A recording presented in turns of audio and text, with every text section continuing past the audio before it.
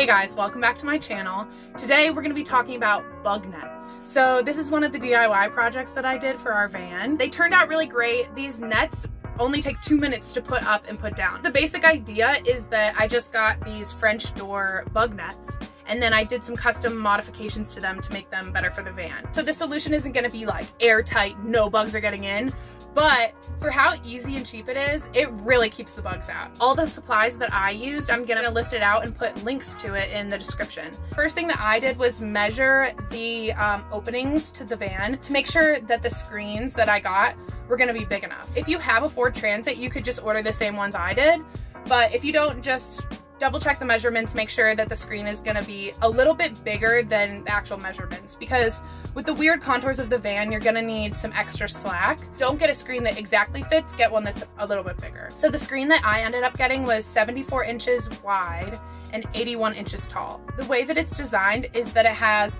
Velcro on the sides and Velcro on the top. So the actual screen has some Velcro on it and then it comes with a roll of the other side of the Velcro that's sticky. I took that sticky side and I wrapped it on the sides and the top of the van.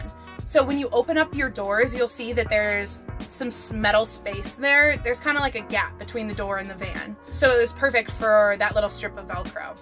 You'll notice that like the parts of the door that actually connect to the van, there's gonna have to be a gap where there's no Velcro for the screen to fit to. But as you're putting it on, you can kind of just like add some slack there and then put the Velcro where you can.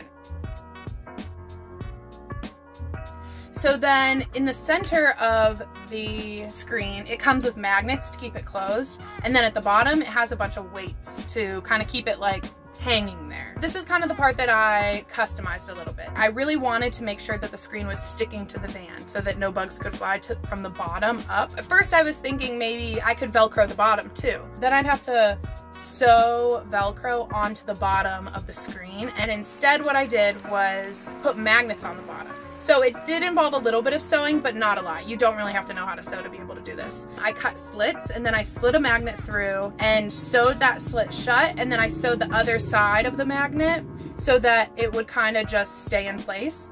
And I probably put maybe five or six magnets on the bottom and that way it sticks to the bottom of the van as well.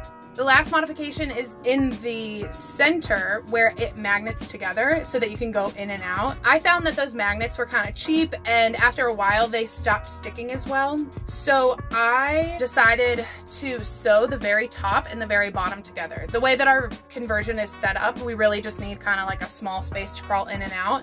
So I sewed the top, sewed the bottom. I took those extra magnets, put them in the middle so that there'd be more magnets in the middle. And then I, I think I also added a couple more just in case to make make it extra strong. So now moving on to the side door, I actually used the same size screen, so the 74 by the 81 inches. The only difference is that I put it upside down. So you'll see when you open your side door that the very top, there's there's so much going on that there's limited space. There wasn't much room to put that Velcro strip.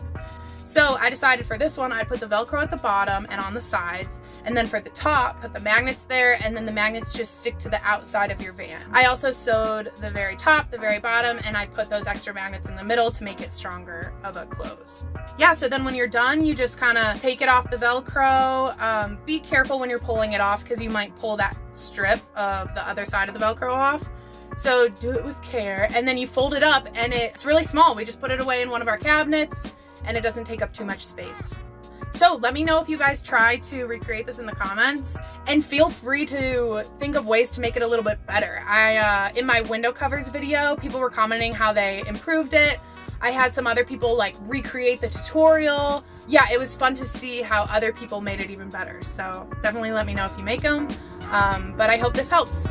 Thanks for watching you guys. I'll catch you on the next one.